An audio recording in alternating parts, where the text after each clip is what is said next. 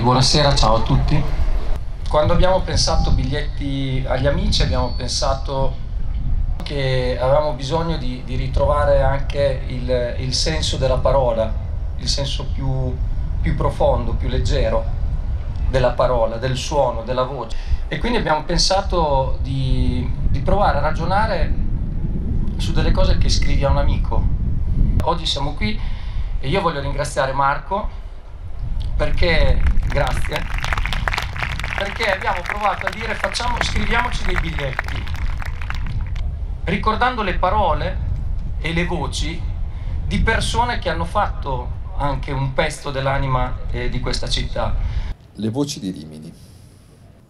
A Taldeg, te lo dico, la molla finale sul palato, Deg. Al Purazzi, il suono povero e tagliente di questa vongola dell'Adriatico. Il soffio della bomboletta di Eron. Ostia. Non è un'ostia come sostengono Milano, ma l'imprecazione dello stupore romagnolo. Al Ciacri, alla Giagia, le chiacchiere nel relax. Il cigolio delle tre corde o funi che hanno impiccato i tre martiri e le, e le campane che li ricordano. A un certo punto si sostiene che una delle voci di Rimini che abbia continuato nel tempo era il rombo di una Mercedes 420, uno grande alla guida e uno più piccolo di lato, e viaggiavano dalle 10 della sera all'una di notte, certe volte fino alle 2 di notte. Non si fermavano mai, rombavano Fellini e Mastroianni. A Marcord si doveva chiamare Ebourg, il borgo. Questo era il titolo. E lui con quell'Ebourg comincia a tornare. Non gli va bene il titolo. Allora trova finalmente una parola che può andare bene, Remni ma Remni non vuol dire niente. Poi c'è un problema perché c'è un accento sulla E e questo sporca il titolo. E poi è aspro.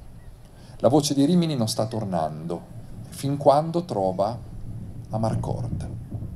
Allora l'uomo che se n'è andato, l'uomo che ha lasciato il paese con la P maiuscola ed è andato a Roma e a trovare fortuna, trova il suono della sua voce.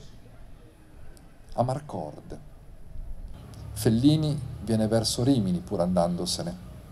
Tonino, Guerro, Tonino Guerra va fuori pur rimanendo. Sono due illusionisti delle voci. Se c'è uno ha la voce dell'addio che ritorna, l'altro la voce del ritorno che dice addio. E chi dice addio è Marco Pesaresi, che è un fotografo gigantesco al grande monumento nascosto di Rimini, è l'uomo del silenzio, fotografava il chiasso delle discoteche, ma quello che ti arrivava era il silenzio. Ancora una volta Rimini stupisce perché sembra una cosa e siamo un'altra. È sempre un andare. Fellini va e torna. Tonino Guerro resta, ma va. Marco Pesaresi fa chiasso, ma è il silenzio che rimane. Perché la sua voce del silenzio è sempre stata quella della libertà.